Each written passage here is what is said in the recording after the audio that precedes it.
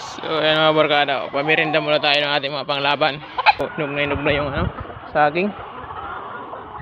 Ayan, pamirinda na. Then, Pamigay sa manok Banana